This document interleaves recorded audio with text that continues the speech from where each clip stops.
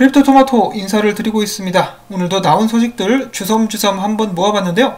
일단 비트코인 같은 경우 어제 6만 달러 위에서 놀았었으나 지금 또 6만 달러 아래로 살짝 미끄러진 모습이 보여지고 있죠.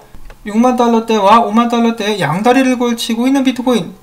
가랭이가 찢어지기 전에 하루빨리 6만 달러 쪽으로 건너올 수 있기를 바래봅니다. 그럼에도 불구하고 지난 7일 동안 20%나 올랐어요. 늠름한 모습이죠. 자, 과연 이번 주에는 어떤 또 사람들을 깜짝 놀래킬 만한 움직임을 보여줄 것인지 벌써부터 기대가 많이 됩니다.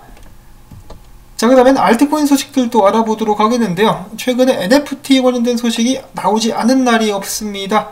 자, 첫 번째로는 크로미아. 이 크로미아에서도 NFT를 한다라고 하죠. NFT 프로젝트 및 개발을 진행한다라고 하는데 크로미아 오리지널이라고 부른다라고 하고요.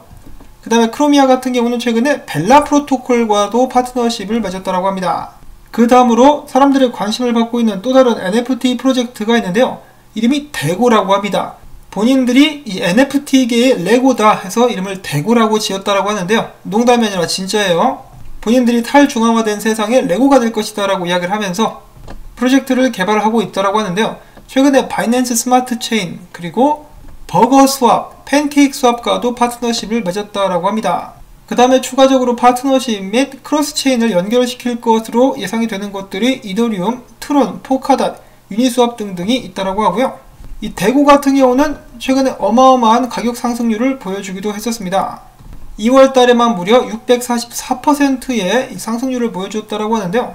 데고가 이 바이낸스에 상장이 된 것으로 알고 있습니다. 바이낸스와 쿠코인 등등에서 거래가 가능하다라고 하네요.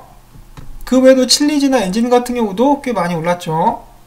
자, 과연 이 무시무시한 상승률을 기록하고 있는 NFT 코인들 지속적인 활약을 기대를 해보도록 하겠고요. 그 다음에 뭐 일반 투자자들하고는 별로 관계가 없는 이야기이긴 한데 프랑스 정부와 미국 정부가 조만간에 그들이 압수한 비트코인들을 경매에 붙일 것이라고 합니다. 경매로 갖다 파는 것보다 각 나라에서 들고 있으면 오히려 미래에 도움이 되지 않을까라는 생각도 해보는데요. 일단은 뭐 경매로 갖다 판다라고 하고 자, 그 다음에는 노트 앱 중에 롬 리서치라는 회사가 있는데요. 꽤 인기를 많이 구가하고 있는 회사라고 하죠. 회사 자산의 2%를 비트코인에 투자했다라고 창업자가 최근에 밝혔습니다. 뭐 2%가 별거 아니라고 생각될 수도 있겠지만은 회사 규모에 따라 다르겠죠. 실리콘밸리에서 인기가 꽤 있다라고 하니까 좀 자금력이 좀 있지 않을까라는 생각을 해봅니다.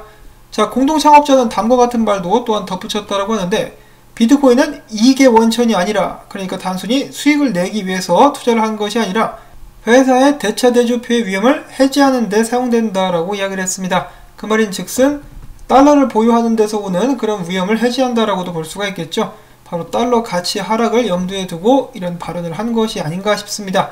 한 가지 흥미로운 것은 작년 7월 달에 이 회사의 팔로워들이 언제쯤이면 이 회사가 비트코인 투자에 참여할 것인지를 물었을 때 그때 당시로서는 아직까지는 비트코인에 대해서 별로 관심이 없다라고 답한 바가 있다라고 하네요.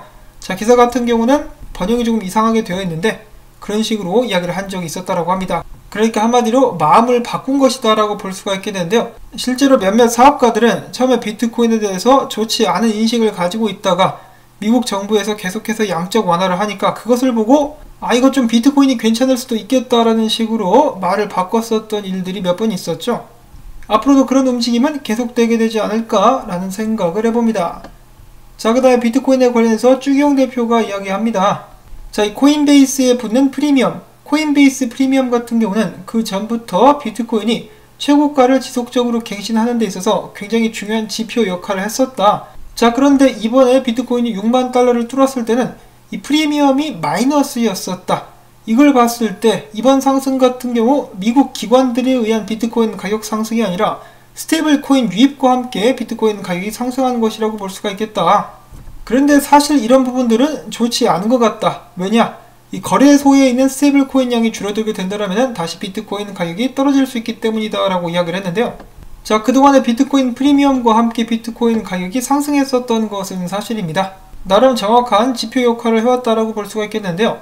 그럼에도 불구하고 이 모든 상황에 대입할 수 있는 언제나 완벽한 지표는 없다라고 저는 생각을 합니다. 이 프로 트레이더들도 이야기를 하는데요. 사람들이 비트코인을 거래하려고 할 때 뭐 다른 이 자산들도 마찬가지겠지만 완벽하게 신뢰할 수 있는 하나의 지표를 찾곤 하는데 그런 것은 존재하지 않는다라고 하죠.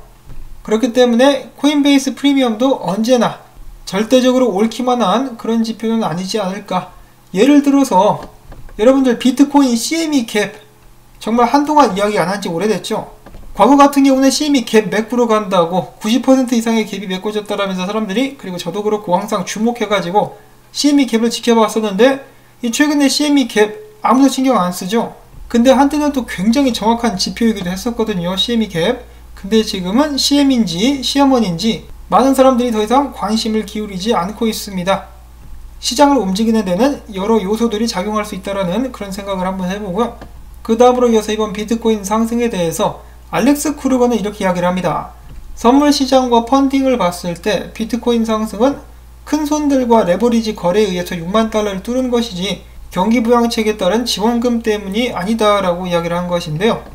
이제 뭐 지원금 막 나눠주기 시작했는데 이 말이 맞죠? 그래서 지원금이 사람들 손에 들어오게 되었을 때 그것으로 인한 비트코인 상승은 아직 일어나지 않았다라고 이야기를 해주고 있는 것입니다. 그런 의미에서 비트코인 가격이 좀 더 상승할 수 있으면 좋겠는데 일반인들은 지금 비트코인 가격이 굉장히 높다라고 하면서 무서워하는 모습을 보여주고 있습니다. 이럴 때일수록 비트코인이 더욱더 높게 올라가 버려야 사람들이 아 그래도 더 오를 수 있구나라는 생각을 가지고 진입을 할 수 있게 되지 않을까. 그런 의미에서 비트코인 가자. 자그 다음엔 글래스노드가 제공하는 자료인데요. 코인베이스 내에 비트코인 보유량을 나타내는 것이라고 합니다.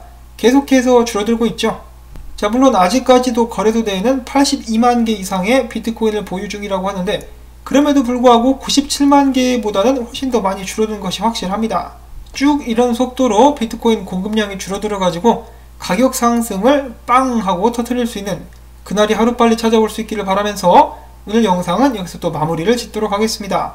새로운 한 주 즐겁게 시작하실 수 있기를 바라고요.